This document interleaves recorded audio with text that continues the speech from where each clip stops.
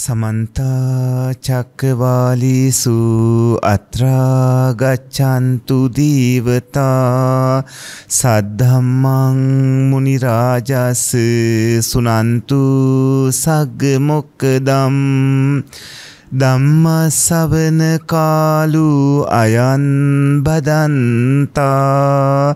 ධම්මස්සවන කාලු අයන් බදන්තා. ධම්මස්සවන කාලු අයන් බදන්තා.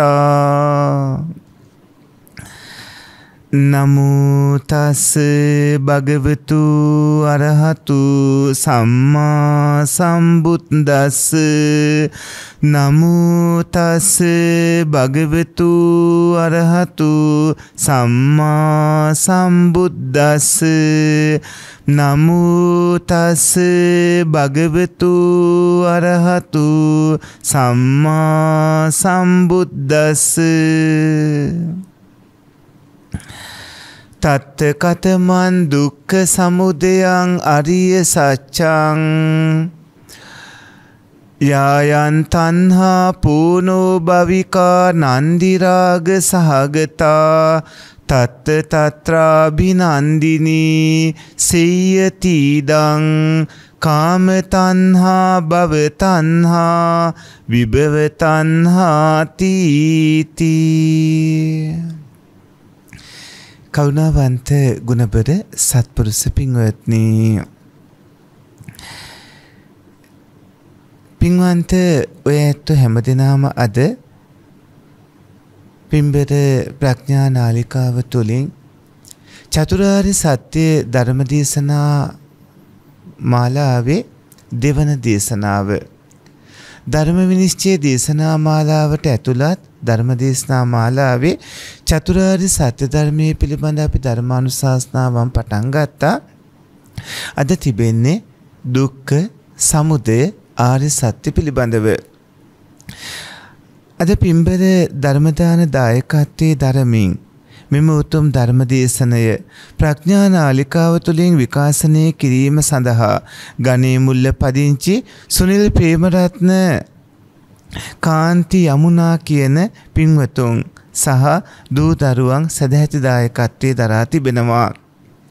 සුනිල් මහත්මා ප්‍රේමරත්න මහත්මා කාන්ති මහත්මිය යමුනා මහත්මිය සත්පුරුෂ පින්වතුන් මේ පින්බර දායකත්වයන් දරමින් මේ රැස් කරගන්න පුණ්‍ය කුසල සම්භාරයෝ පිරිසුදු සද්ධර්මය ලොව බොහෝ කල් බැබලීමටත් සංඝරත්නයේ නිරෝගීභාවය සහ සමගිය පිණිසත් දේශක ශ්‍රාවක දායක සැමට ඉක්මනින්ම ධර්මාබෝධය පිණිසත් ඒකාන්තේම හේතු වාසනා වේවායි කියලා මේ උතුම් පින්කමේ ප්‍රධාන අරමුණ වශයෙන් තබනවා. සත්පුරුෂ පින්වත්නි බුදුපියාණන් වහන්සේ ලෝකෙ පහළ වෙන්නේම චතුරාර්ය සත්‍ය ධර්මයේ දේශනා කරන්න. දුක්ඛ ආර්ය සත්‍ය දුක්ඛ සමුදය ආර්ය සත්‍ය දුක්ඛ නිරෝධ ආර්ය සත්‍ය දුක්ඛ නිරෝධ ගාමිනී පටිපදා ආර්ය සත්‍ය අපි චතුරාර්ය සත්‍ය ධර්මයේ ආර්ය සත්‍ය කියනකොට බුදු පසේ බුදු මහරහතන් වහන්සේලා විසින් අවබෝධ කරගන්න සත්‍ය හතර තමයි මේ සත්‍ය හතර. එතෙන්දී දුක්ඛ කියන එක මේ සත්‍ය හතර ඉදිරියට ගන්නේ දුක්ඛ කියන්නේ පිළිකුල් කළ යුතු නිന്ദා කළ යුතු හිස් සාරයක් නැති ඔබ ආත්මයක් තියෙනවා සත්වයේ පුද්ගලයෙක් මම කියලා කෙනෙක් ඉන්නව කියලා හිතුවට එහෙම කෙනෙක් එහෙම දෙයක් නැහැ මේ පංච පාදා නස්කන්ධයයි කියලා කියන එකට. එතකොට දුක්ඛ ආර්ය සත්‍ය කිව්වහම ඒ ආර්යයන් වහන්සේලා විසින් අවබෝධ කරගන්න සත්‍ය තමයි මෙතන ආත්මයක් සත්‍යයේ පුද්ගලයෙක් මම කියලා කෙනෙක් නෑ මේ පංච උපාදානස්කන්ධය කියන එක. පවත්ති පවත්තක නිවත්ති නිවත්තක කියන ලෝකී පවතින මේ ක්‍රම හතරෙන් මේ පවත්ති පවතින විදිහ තමයි මේ පංච උපාදානස්කන්ධය. එතකොට පින්වත්නි මේ පංච උපාදානස්කන්ධය පවත්වන හේතුවක් තියෙනවා. ඒ පවත්වන හේතුවට අපි කියනවා දුක්ඛ සමුදය ආර්ය සත්‍ය කියලා. මේ දුක්ඛ කියන පංච උපාදානස්කන්ධේ හටගන්වන හේතුව තමයි සමුදය ධර්මය. එතකොට ඒ හටගන්වන හේතුව ආර්යයන් වහන්සේලා ඒ සත්‍ය දකිනවා. ඒ තමයි කාම තණ්හා, භව තණ්හා, විභව තණ්හා. යායන් තණ්හා පූනෝ භවිකා නන්දි රාග සහගතා තත්ත තත්‍ර අභිනන්දිනී යම් තණ්හාවක් පුනර්භවයේ ඇති කරන ආත්ම සෙනෙහස සමග යෙදුණු ඒ උපතින භවය මහත් අභිරුචියෙන් පිළිගන්න ඒ තණ්හාවක් තියෙනවාද? ඒ තණ්හාවට තමයි මේ සමුදිය සත්‍ය කියලා කියන්නේ. පංච උපාදානස්කන්ධේ හටගන්නන හේතුව. ඔය ඇත්ත බලන්න ඔබ දිහා. අද ඔය ඇත්තන්ගේ තියෙන රූපය අද උදේ ඊයේ පෙරේදා මීට අවුරුදු 10ක් 15ක් 20ක් ඔබ මවකුසකින් මෙලොව බිහිවන දවස මවකුස ඇතුලේ හිටියේ කාලය මවකුසට එනකොට තිබ්බ අවස්ථාව මේ විදිහට බලද්දී මේ වෙලාවේ තියෙන රූපේ නෙමෙයි කලින් තිබුණේ. මේ මොහොතේ ඔබේ රූපය කර්මයේ සිට උණුසුම ආහාර කියන හේතුන්ගෙන් ඇති වුණු ගමම්ම චිත්තස්සන 17ක ආයු කාලයකින් නැති වෙනවා. ඒ නැති වෙනකොටම අහපව ඇති වෙනවා. රූපේ මේ මොහොතේ ඇති වෙනවා ඇති වුණු සැනකින්ම නැති වෙනවා. ඒ වගේම තමයි නැවතත් ඇති වෙනවා නැවතත් නැතුව යනවා. මේ රූපේ කියන්නේ ඒ වගේ එකක්. මේ නාම ධර්මත් එහෙමයි. වේදනා, සංඥා, සංකාර, විඥාන. මේ සිත සිතේ යෙදෙන චෛතසික ධර්මත් ඒ වගේම හේතුන්ගෙන් ඇති වෙනවා ඇති වුණු ගමන්ම නැතුව යනවා. මේවා හේතුඵල ධර්මයන්ගේ ක්‍රියාකාරීත්වයක්. ස්ථීරව වෙනස් නොවී ආත්මේ මම මගේ කියන අදහසක් තිබුණාට එහෙම දෙයක් නැති ධර්ම. මේ චතුරාර්ය සත්‍ය ධර්මයේ චතුරාර්ය සත්‍ය ධර්මයේ දේශනා කරන්න පුළුවන් වෙන්නේ ලෝතර භාග්‍යවත් තිලෝගුරු බුදුරජාණන් වහන්සේ නමකටම පමණයි. ඒ ඇරෙන්න වෙනත් කෙනෙකුට බෑ. අද අපි මේ ඉන්න කාල සීමාව තුළ බුදු පියාණන් වහන්සේ පහළ වෙලා අවසන් මේ කාල සීමාවේ තවත් බුදු පියාණන් වහන්සේ නමක් පහළ වෙන්නේ නැහැ. සම්මා දිට්ඨිය කියන්නේ නිවැරදි දැකීමමයි. ඒ වගේම දිව්‍ය ලෝක සතර අපාය කියලා දෙයක් නැහැ කියලා කිව්වොත් ඒක තනිකරම මිත්‍යා දෘෂ්ටියක්. ඒක හිතේ ඇතිවන අවස්ථාව මේ ඉන්නකොට තමන් සතුටින් ඉන්නවා නම් ඒක දිව්‍ය ලෝකේ දුකෙන් ඉන්නවා නම් ඒක අපාය වගේ මිත්‍යා දෘෂ්ටි කියනකොට ලෝකේ ඇතිවන විදිහ ලෝකේ විනාශ වන විදිහ ජලයෙන් විනාශ වන විදිහ, වාතයෙන් විනාශ වන විදිහ, ගින්නෙන් විනාශ වන විදිහ, ඒ කියන්නේ වේහප්පලයෙන් යට ලෝකේ විනාශ වෙනවා. ඒ වගේම මේ කල්ප විනාශාදීයේදී මේ වේහප්පලයෙන් යට සුබකින්හේ යට ආබස්සරේ යට විනාශ වෙන අහපව සත්වයෝ පහළ වෙනවා. ලෝකයේ මේ මිනිසුන් පහළවීම වෙනකොට මුලින්ම ඒ අයගේ භාවරූප ලැබෙන්නෙත් නැහැ. ඒ කියන්නේ කාන්තාවද්ද පිරිමියෙක්ද කියන එක ලැබෙන්නෙත් නැහැ මුලින්. කාන්තාවද්ද පිරිමියෙක්ද කියන එක පහළ වෙන්නේ කර්ම විපාකවල හැටියට. දැන් ලෝකේ කතාවක් තියෙනවානේ කිකිලිද මුලින්ම බිත්තරේද මුලින්ම පහළ වුණේ කියලා. බුදුදහම විතරයි ඕකට උත්තරේ තියෙන්නේ. කාන්තාවද පිරිමියාද ලෝකෙ මුලින්ම පහළ වුණේ කියලා කතාවක් තියෙනවානේ. හැබැයි ඕකට උත්තරේ නෑ විද්‍යාවෙන් තවත් තැනකින්. හැබැයි ඒකට නිවැරදි උත්තරේ තියෙන බුදුදහම විතරයි. ආභස්සරයෙන් මනුස්ස භූමියට එන ඒ සත්වයෝ ඒ පහළවන ඒ සත්වයෝ ඒ රස අනුභව කිරීම ආදී අර අපේ තියෙන අග්ගඤ්ඤ සූත්‍රයේ අග්ගඤ්ඤ සූත්‍රක අපූර්වට විස්තර කරනවා. අද තණ්හා දේශනා වාරය නිසා අපි ඒ ගැන බොහෝ විස්තර කරන්නේ තව කවුණු බොහොමයක් දේශනා කරන්න තියෙන නිසා.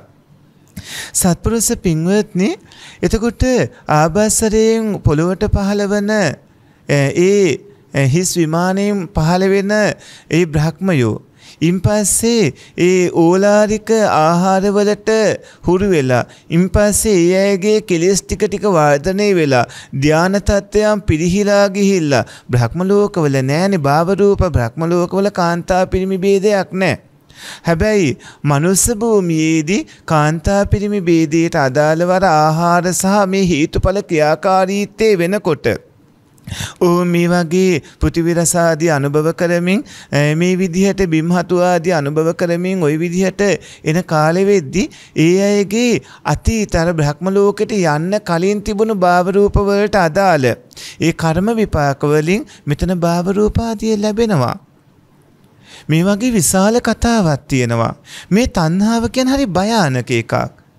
ඒ තණ්හාව නිසා තමයි කාම තණ්හා, භව තණ්හා, විභව තණ්හාවන් නිසා පුනර්භවය ඇති කරනවා. ආත්ම සෙනෙහස ඇති වෙලා මහත් අභිරුචියකින් විශාල දැඩි ආසාවකින් අලුත් භවයන් පිළිගන්න ස්වභාවයක් තියෙනවා.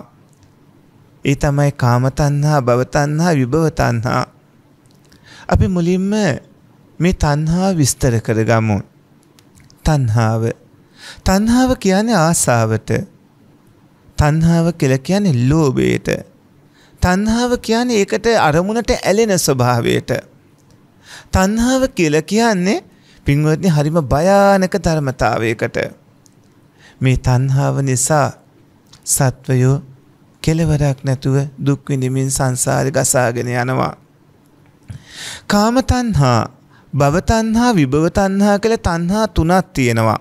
කාම තණ්හා කියලා කියන්නේ ඔබේ ඇස් වලින් රූප අරමුණු ගන්නෙ.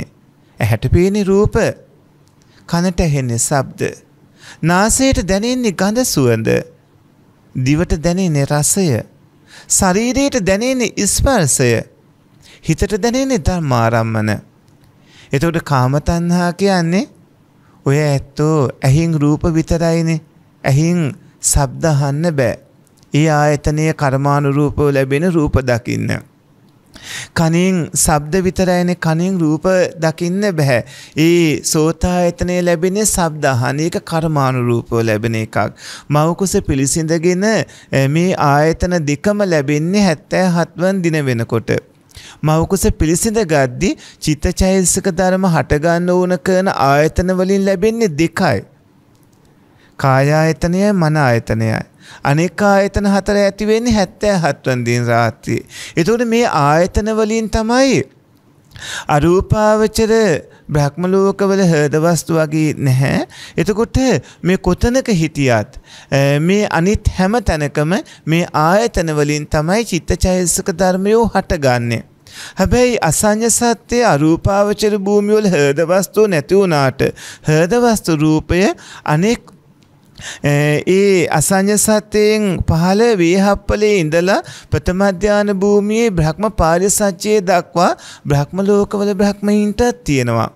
පානිම්මිත වසවර්තියේ ඉඳලා චාතුරුමහා රාජිකය දක්වා දිවලෝකවල අයටත් තියෙනවා. මනුස්සයින්ට වගේම සතර අපාගත සත්වයින්ටත් තියෙනවා. මේ හෘද වස්තු ඇසුරු කරගෙන චිත්ත සන්තතිය පවතින්නේ. හැබැයි අර ආයතනවල පින්වත්නි ඒ ඒ ඒ දේට අදාළ කර්ම විපාක වලින් හටගන්න විපාක විඥානයක් ඒ චක්කු දසක ආදී කර්ම විපාකයෙන් හටගන්න ඒ ආයතනවල පහළ වෙනවා රූප අරමුණු, ශබ්ද අරමුණු ආදී අරමුණු අරගෙන. ඒ ගන්න අරමුණට ආසා කරන ස්වභාවයක් සිත තුල තියෙනවා. අපි ඒකට ලෝභය කියලා කියනවා.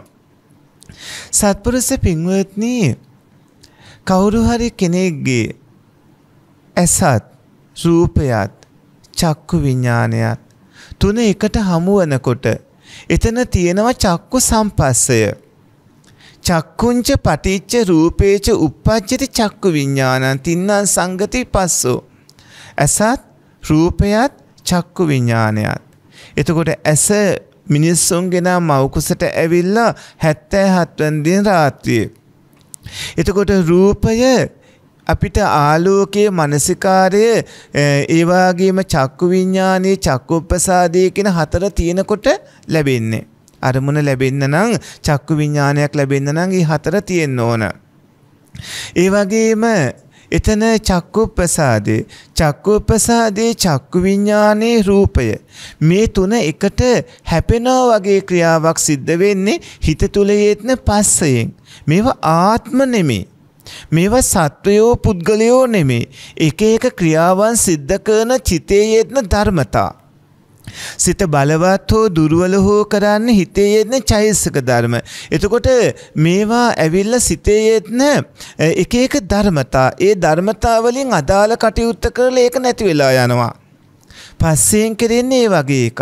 එතකොට චක්කු සම්පස්සේ සිද්ධ වෙනකොට චක්කු සම්පස්සච වේදනාවක් ඇති වෙනවා. අර හැපුණු අරමුණේ රසයක් මතු කරනවා. ඒ මතු කරන රසය පින්වත්නි විඳින ස්වභාවයක් තියෙනවා. චක්ක සම්පස්සචා වේදනා. ඒ මතු කරපු අරමුණේ රසය විඳින ස්වභාවයක් තියෙනවා. ඒ විඳින ස්වභාවයේ සෝමනස්ස, දෝමනස්ස, උපේක්ඛා කියලා තුන් විදිහක්. එහෙම නැත්නම් සුඛේන්ද්‍රිය, සෝමනස්සින්ද්‍රිය, දුක්ඛේන්ද්‍රිය, දෝමනස්සින්ද්‍රිය කියලා පස් ආකාරයක් වෙනවා. ඉන්ද්‍රිය ભેදයෙන් පහක්. එහෙම නැත්නම් ධර්ම වශයෙන් තුනක්. මේ චක්කු සම්පස්සජා වේදනාව නිසා මේ අරමුණේ රසයි වින්න ස්වභාවය නිසා ඇතිවෙනවා තණ්හාව. ඒ තණ්හාව රූප පිළිබඳ ඇතිවෙන්න පුළුවන්. රූප පිළිබඳ ඇතිවෙද්දී ඒක රූප තණ්හාවක්. රූප පිළිබඳව ඇතිවෙන්න පුළුවන් දකින රූප ගැන හිත තුළ හිතේ ආසාවක් ඇතිවෙන්න පුළුවන්. ඒ වගේම කනට ඇහෙන ශබ්දය ගැන ආසාවක් ඇතිවෙන්න පුළුවන්. ශබ්ද තණ්හාවක්. දිවට දැනෙන රසයන් ගැන ආසාව. ජීවහා තණ්හාව ඒ කියන්නේ රස තණ්හාව. ශරීරයට දැනෙන ස්පර්ශයේ නාසයට දැනෙන ගඳ සුවඳ හිතට දැනෙන ධම්මාරම්මන මේ විදිහට රූප තණ්හා, ශබ්ද තණ්හා, ගන්ධ තණ්හා, රස තණ්හා, පොට්ටබ්බ තණ්හා, ධම්ම තණ්හා කියලා තණ්හා හයක් තියෙනවා. ඒ ආයතන වලින් ඇතිවන අරමුණත් එක්ක ඇතිවන තණ්හාවක්. දැන් කාම තණ්හා කියන්නේ රූප සද්ද ගන්ධ රස ස්පර්ශ කියන මේ පංචකාම සම්පත් වල තියෙන ආසාවට නමක්. කාම තණ්හාව කියන්නේ පංචකාම සම්පත් වල තියෙන ආසාව. පංචකාම සම්පත් වල තියෙන මේ ආසාව ආයතන බීදීන් ගත්තාම හයක් වෙනවා. පංචකාම සම්පත්තල තියෙන ඊ ආසාව ආයතන ભેදයෙන් ගත්තාම හයක් වෙනවා. කාම තණ්හා. එතකොට කාම තණ්හා හයයි. ඊට පස්සේ භව තණ්හාව. භව තණ්හාව කියන්නේ රූපාවචර අරූපාවචර භවයන් පිළිබඳව තියෙන තණ්හාව. මේවා මේ විදිහටම ගන්න. පින්වත්නි ඒ භාග්‍යවත් තිලෝගුරු බුදුචානන් වහන්සේ දේශනා කරපු ධර්මය සූත්‍ර විනය අභිධර්මය කියන ත්‍රිපිටකයේ තුල තියෙන්නේ. ඔබට මගපල් ලබන්න නම් අර කෙනා මගපල් ලැබුවා මේ කෙනා මගපල් ලැබුවා මගපල් ලාභියාගෙන් ධර්මස්සවණය කරන්න ඕන කියන අදහසකට යන්න එපා ඒක වැරදි. ඔය ඇත්තෝ මගපල් ලබන්න නම් ඒ මාර්ගඵලාබෝධය උදෙසා කටයුතු කරන්න ත්‍රිපිටක බුද්ධ වචනේ අටුවා ටීකා අනු ටීකා පරිවාර ග්‍රන්ථ එක්ක භාග්‍යවතුන් වහන්සේ දේශනා කරපු ක්‍රමයේම තමයි පිළිපදින්න ඕන. මගපල්ලාබී ස්වාමින්වහන්සේලා වුණත් ඒ ක්‍රමයේම තමයි දේශනා කරන්නේ. ස්වාමින්වහන්සේගේ පුද්ගලික මගපල්ලාබීත්වයක් හොයාගෙන ගියොත් ඔබ අනාථ වෙනවා අමාරු වෙනවා. මගපල් ලැබූ ස්වාමින් වහන්සේලා මගපල් ලැබිය ත්‍රිපිටක බුද්ධ වචනේ අනුව ඔය ඇත්තන්ට දේශනා කරන්නෙත් ඒ මාර්ගඵලලාභී ස්වාමින් වහන්සේලා නම් මේ ත්‍රිපිටක බුද්ධ වචනයමයි. අතීතයේ වැඩ හිටිය සැරියොත් මගලන් නන්ද රාහුල ආදී නික්ලේසී මහා සංඝ උතුමන් වගේ ලංකාවට බුදුදහම රැගෙනීමට මුල්ලුණු තුන්වෙන් ධර්ම සංගායනාවේ මොග්ගලී පුතිස්ස මහරහතන් වහන්සේ වගේ අනුබුදු මිහිඳු මහරහතන් වහන්සේ වගේ පැවිදි කරනකොටම සිව්පිලිසෙන් බියාපත් වුණත් ලංකාවට වැඩම කරන්න කලින් අම්මගේ නගරේ ඉඳලා ත්‍රිපිටක අටුවාවන් සහිත බුද්ධ වචනේ අංග සම්පූර්ණව ඉගෙනගෙන වැඩම කළේ.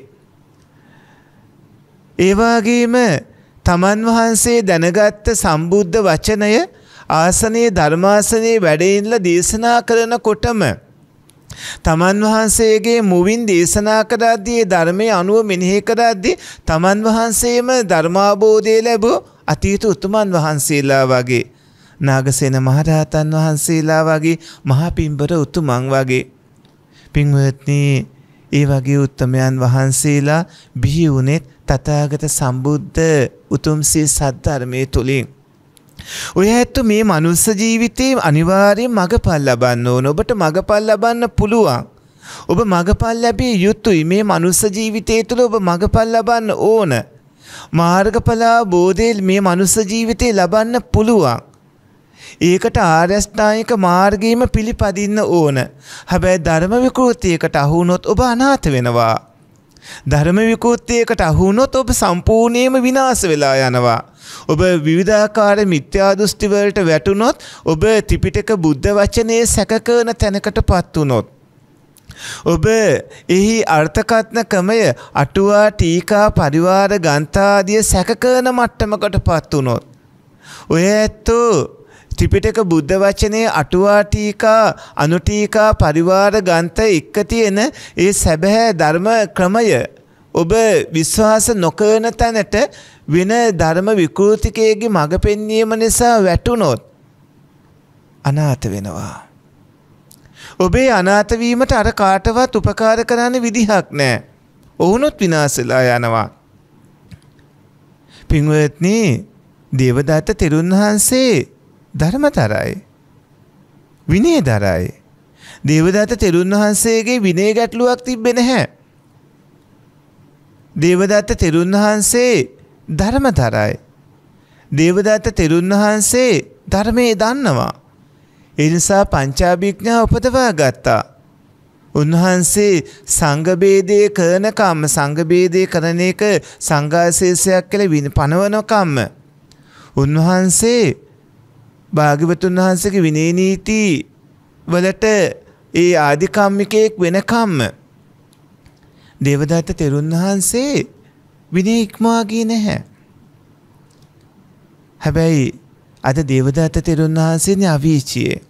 පරිකරම නිමිති උද්ඝහ නිමිති ප්‍රතිභාග නිමිති උපචාර සමාධී ප්‍රථම අධ්‍යාන, ဒုတိ ය අධ්‍යාන, තෘතීය අධ්‍යාන, චතුර්ථ අධ්‍යාන ආකාසා නංචායතන විඥානංචායතන ආකින්චඤ්ඤායතන නේව සංඥා නා සංඥායතන මේ අෂ්ටඵල සමාපatti උපදවා ගන්න අනුපිළිවෙල ක්‍රමයට ඉස්සරහට යනකොට තියෙනවා මැදදී පංචවිධ වසීතාවයන් දසර්පණා කෞසල්‍යයන් කරගත යුතු තව අත්‍යවශ්‍ය කාරණා.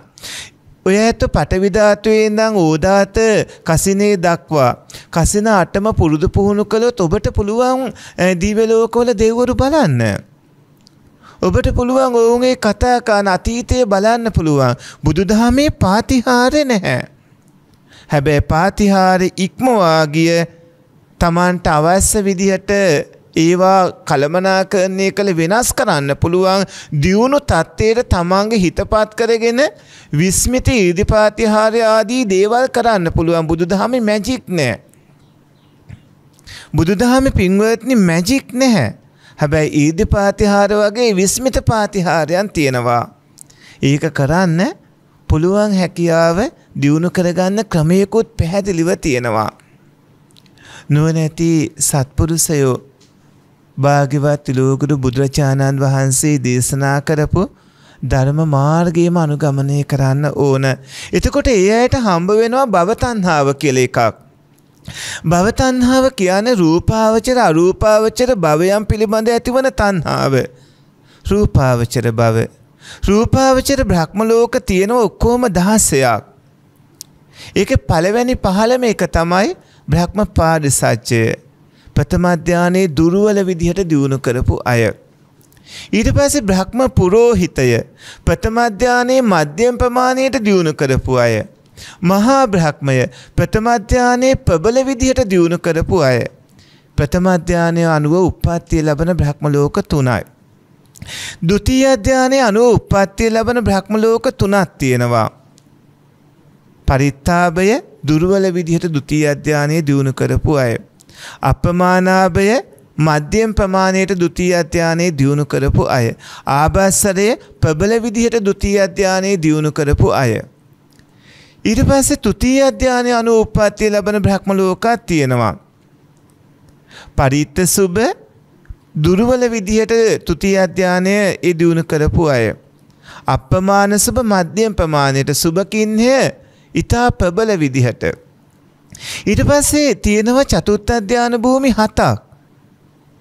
අසඤ්ඤ සත්‍යේ වේහප්පලේ නිවන කියලා කියන්නේ සිත නැති කිරීම කියලා හිතලා පංචම අධ්‍යානයෙන් වායෝ කසිනිය ඔස්සේ භාවනා කරපු වැරදි මාර්ගයට ගිය මිත්‍යා දෘෂ්ටික පංචාභිඥාලාභී. ඒ බලවත් පිරිස අසඤ්ඤ සත්‍ය උප්පත්තිය ලබනවා. ඊළඟට වේහප්පලය චතුත් අධ්‍යාන භූමි.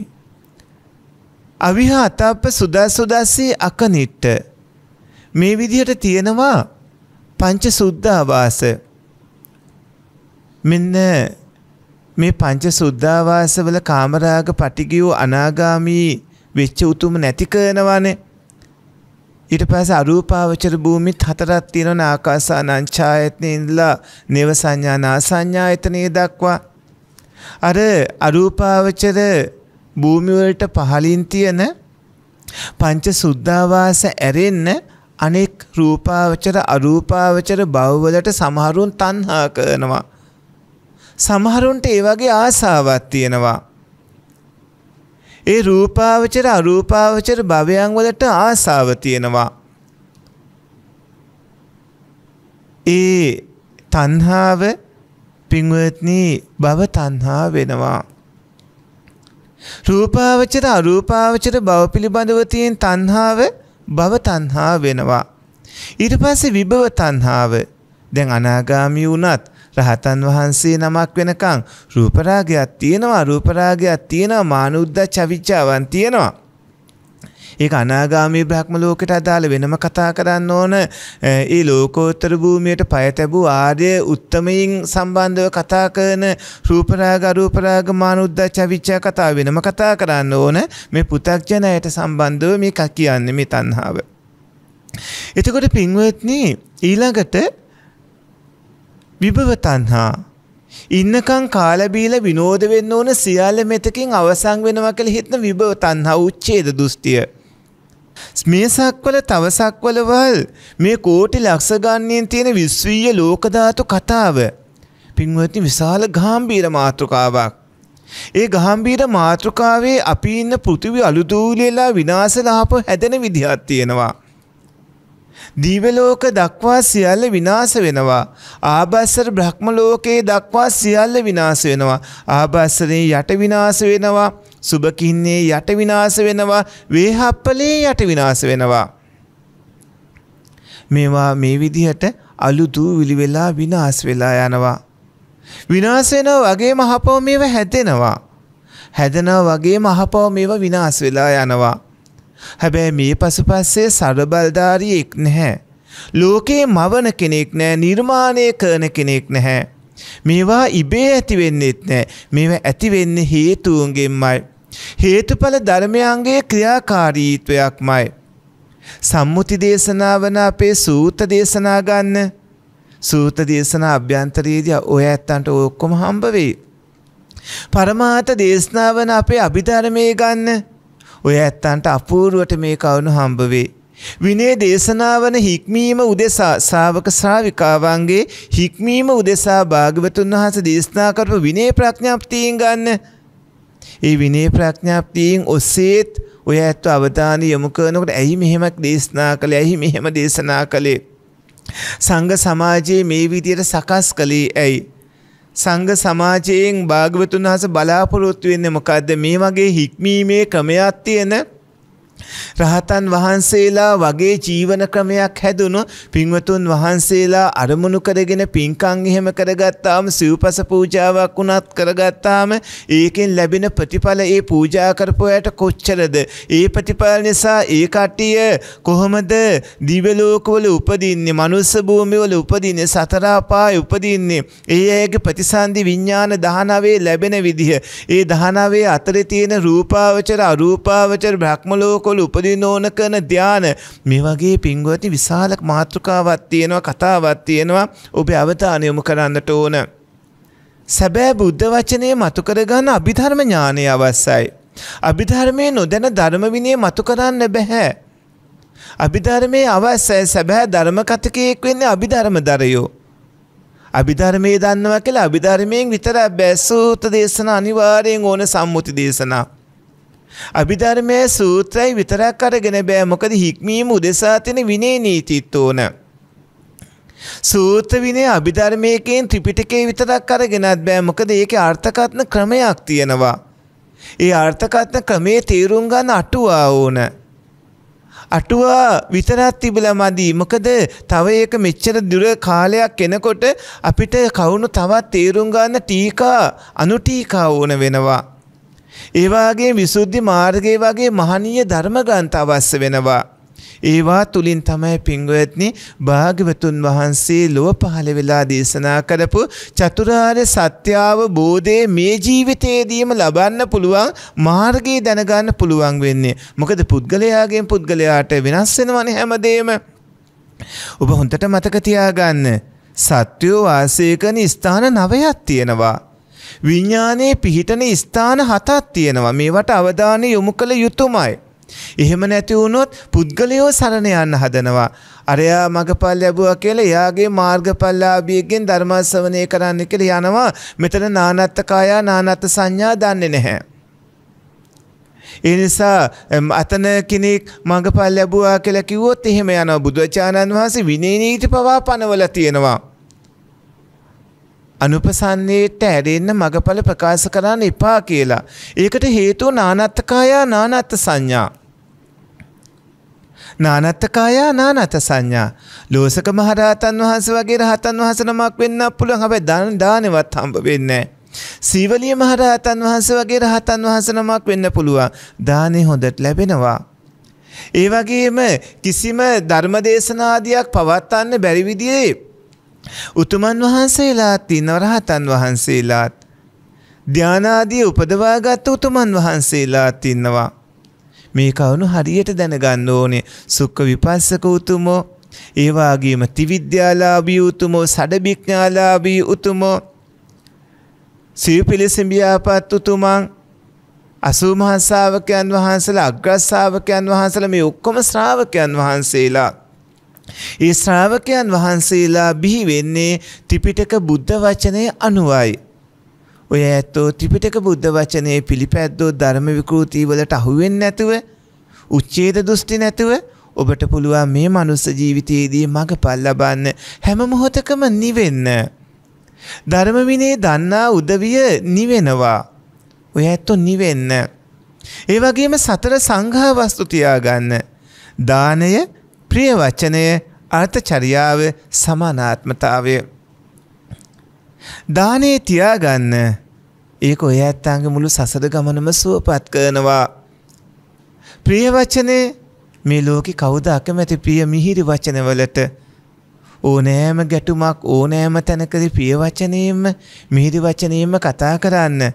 එතකොට ඒ ඇතුණු චේතනා බලවත් ජවන ඒ කර්ම හිතත් එක්ක ඉන්පස්සේ චිත්තකිරිය වායෝ ධාතුව කියන අංගමංගානුසාරී වායෝ ධාතුව ඉන්පසු කාය වචී විඤ්ඤාති දෙකෙන් එකක් ඊළඟට අටි සංඝාතයේ ක්‍රියාකාරීත්වය කියන මේ චතුසමුට්ටානික රූපකායේ ක්‍රියාකාරීත්වය සිද්ධ වෙනකොට ඔය වගේ කයින් වචනෙන් හිතෙන් කර්ම රැස් කරගද්දි ප්‍රිය වචන කියපු ඔය ඇත්තන්ට ලැබෙන විපාක විශාලයි. ආතචරියාව සමානාත්මතාවය ඇති කරගන්න සත්පුරුෂ පින්වත්නි උච්චේද දෘෂ්ටිය නැති කරගන්න ඕනේ. ඉන්නකම් කාලබීල විනෝද වෙන්න ඕන සියල්ල මෙතකින් ඉවර වෙනවා කියලා හිතන ඒ මිත්‍යා දෘෂ්ටිය නැති කරගන්න ඕනේ. අපායක් කියලා දෙයක් නැහැ, දිව්‍ය ලෝකයක් කියලා දෙයක් නැහැ කියනකො නෑ එහෙම එකක් තියෙනවා. දිව්‍ය ලෝකයක් තියෙනවා, අපායේ තියෙනවා. ඒ වගේම බ්‍රහ්ම ලෝක තියෙන ඒවා හදවතේම ස්වභාවයක් නෙමෙයි. කෝ ඒව පෙන්වන්න කියලා කිව්වොත් අපි අහන්න ඕනේ. අනිවාර්යයෙන්ම පෙන්වනවා බලන්න පුළුවන්. එහෙමනම් මෙතන ඉඳලා උපකාරණයක් නැතුව හඳ දිහා බලලා පෙන්වන්න කියලා හඳේ ආවාට වල ස්වභාවය ඔක්කොම. මෙතන ඉඳලා උපකාරණයක් නැතුව කෙලින්ම ඉර දිහා බලලා කියන්න කියලා. මෙතන ඉඳලා උපකාරණයක් නැතුව ඈත පිට ඔය තියෙන ගහවස්තු අපි උපකාරණ වලින් දියුණු කරලා ගන්න විවිධාකාර මේ දකින ගහවස්තු තියෙනවානේ ඒවා උපකාරණයක් නැතුව පියවියහින් බල්ලා කියන්න කියලා කියන්න ඕන. එතකොට ඒ අය නිරුත්තර වෙනවා. ඒ ඇයට පේනවා ඒ ඇයගේ ඇස් කර්ම විපාක විදිහට කර්මජ වශයෙන් එක්තරා දුර ප්‍රමාණයක් බලන්න විතරයි ලැබිලා තියෙන්නේ. ඕලාරික රූපකායක ඉන්ද්‍රිය බද්ධ සීමාවක් තියෙනවා. ඉතින් මේ කවුණු කියනකොට කවුරු හරි කෙනෙක් කිව්වොත් අනේ ස්වාමීන් වහන්සේලා කියන වචන ස්වාමීන් වහන්සේ කියන වචනේ ගැඹුරු ඉන්නේ තේරෙන්නේ නැහනේ. ඉතින් ඕලාරික රූපකා ඉන්ද්‍රිය බද සීමා කිව්වහම ඒවා මේ වචන වලින්ම කිව්වොත් තමයි ඔය ඇත්තෝ ඒක තව හොයලා දැනගන්නකොට ඔබට තේරුම් ගන්න පුළුවන්. වෙන වචනයකින් කියනවට වඩා මේ වචනයෙන්ම කියන්න ඕන. මෙතන වරද තියෙන්නේ ධර්මදේශකයන් වහන්සේලාගේවත් ත්‍රිපිටක බුද්ධ වචනේවත් නෙමේ. ඒක නොදැන ඉන්න ඇත්තන්ගේ. ඒකන වරද තියෙන ඔබේ වරද තියෙන අපේ නෙමේ. ධර්ම විනය දන්නේ නැතිකම තමන්ගේ වරදක්. ඒ වරදට මිත්‍යා දෘෂ්ටිවලට අහු වෙන්නේ තමන්. එනිසා ධර්ම විනය දැනගන්න ඕන අපි අහන්න ඕන අර කට්ටියගෙන්. එහෙනම් අල්ලපු ගමේ මේ වෙලාවේ තියෙනවලු ගෙදරක රණ්ඩුවක් ඒ රණ්ඩුවේ කතා කරන දේවල් මෙතන ඉඳන් අහලා කියන්න. ඒ ඇයට බෑ මොකද ඒ කට්ටියගේ කන් ඇහෙන්නේ මේල වටපිටාවේ එක්තරා ශබ්ද ප්‍රමාණයක් ඇහෙන විදියට විතරයි. ඒක ලැබිලා තියෙන කර්ම විපාක නිසා.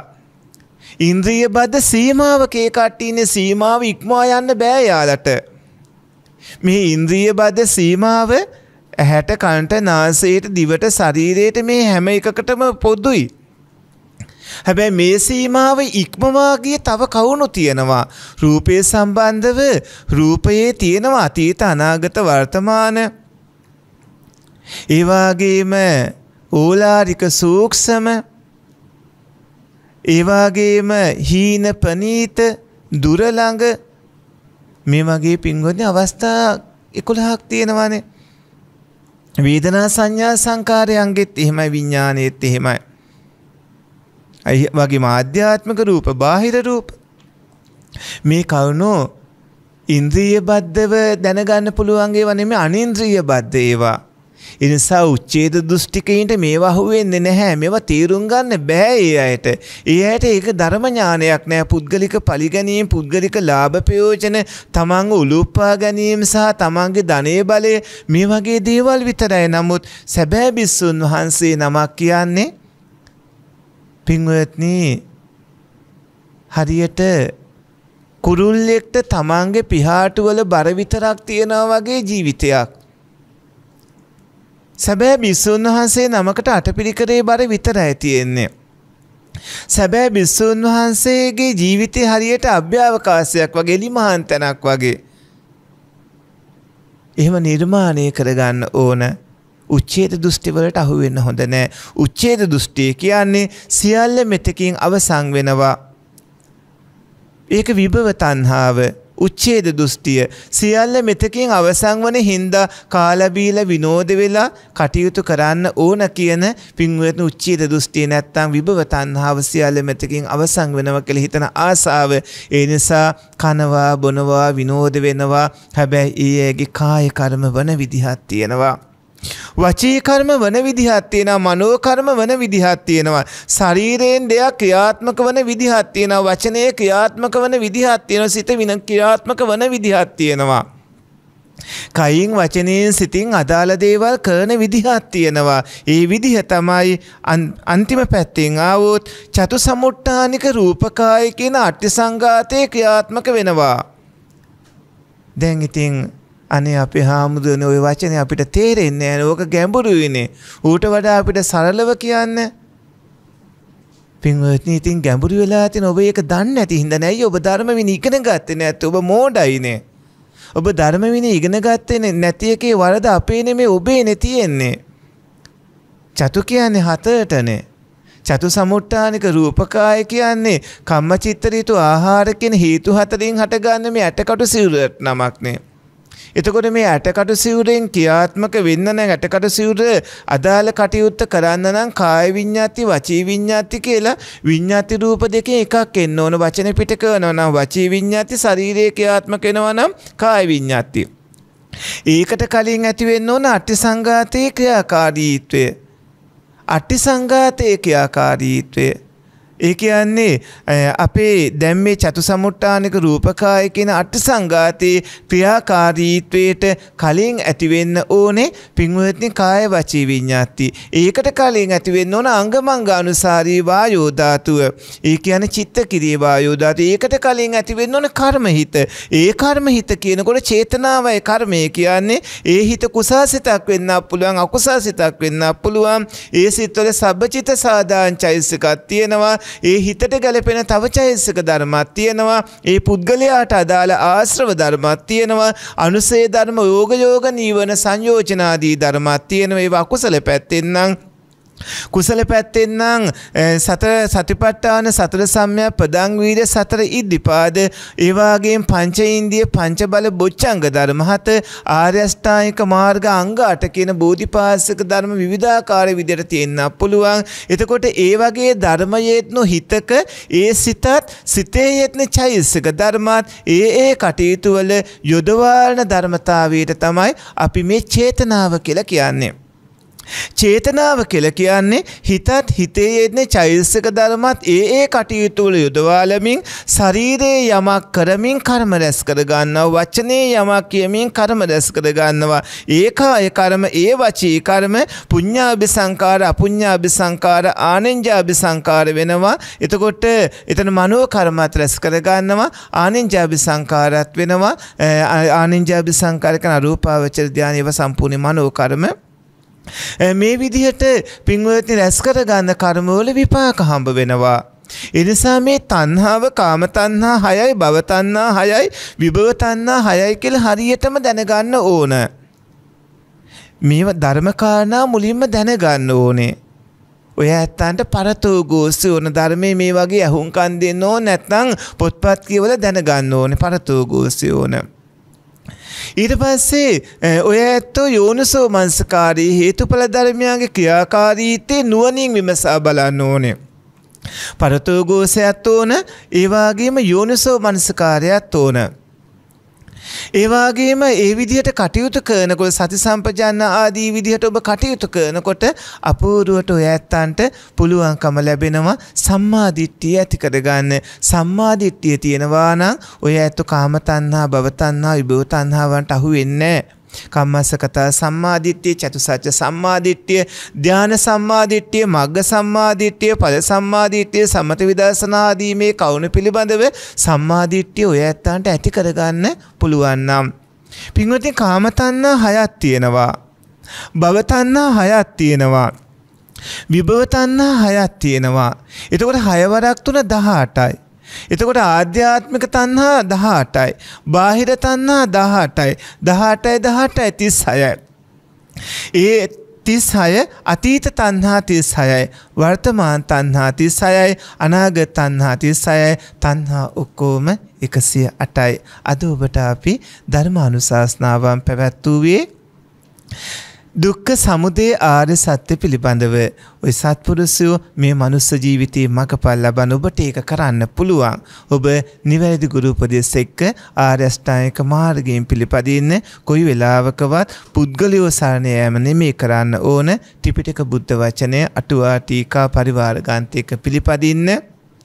නානත්තකාය නානත් සංඥා විදියට සත්තු වෙනස් වෙනවා නානත්තකාය ඒකත සංඥාවක් තියෙන ඒකත්තකාය නානත් සංඥාවක් තියෙනවා ඒකත් කාය ඒකත සංඥායක් තියෙන අසංඥ සත්‍යයක් තියෙනවා ආකාසානංචායතන විඤ්ඥානංචායතන ආකින්චඥායත නිවසංඥානා සංඥායතන අයත් ඉන්නවා. සත්‍යයෝ විවිධාකාර විවිධ තැන්වල වාසය කන හැමෝගේම හේතු සම්පත් ඇත්තන්ටයි මේ උතුම් ධර්මයේ තියෙන්නේ. එනිසා පින්වත්නි පුද්ගලයාගෙන් පුද්ගලයාට විවිධාකාර කවුණු වෙනස්සනකොට ත්‍රිපිටක බුද්ධ වචන ඒ හැමෝටම පොදුවේ හැමෝටම ගැලපෙන විදිහට ඇතියෙන්නේ එනිසා පුද්ගලයෝ සරණ ගියොත් ඔබ අනාතයෝ වෙනවා. ඔබ භාග්‍යවතුන් වහන්සේ වහන්සේ ධර්මරත්නය සංගරත්නය සරණ ගියොත් ඔය ඇත්තන්ට සසරින් එගොඩ වෙන්න පුළුවන් මේ ජීවිතයේදීම රහතන් වහන්සේ නමක් රහත්වෙනනින් වහන්සේ නමක් වෙන්නට කටයුතු කරන්න සත්පුරුස පින්වත්නී. අද පිම්බර ධර්මදාන් දායකත්තේ දරන්නට යෙදුනේ.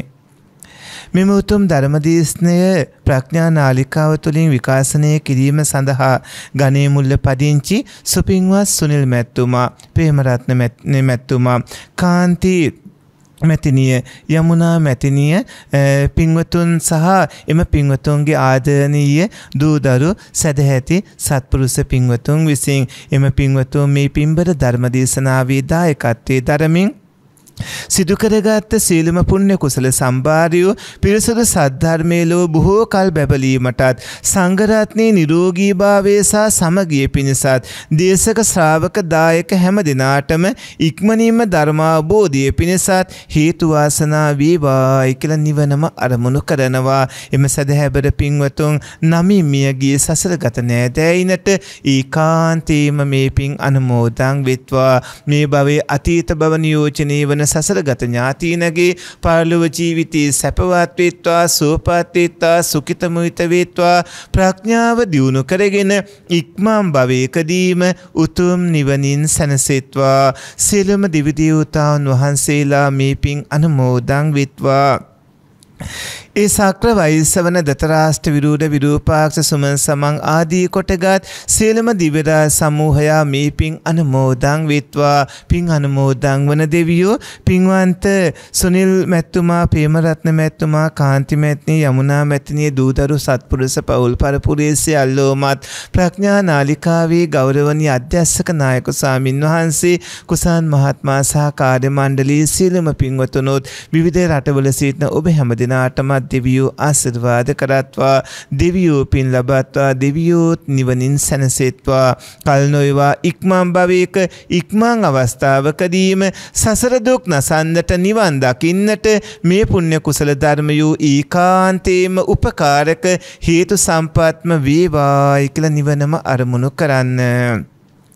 ආකාසට්ටාච බුම්මට්ටා දීවානාගා මහිද්දිකා පුඤ්ඤන්තං අනුමෝදිත්වා චිරාන්රක්ඛන්තු ත්වං සදා තෙරුවන් සරණයි.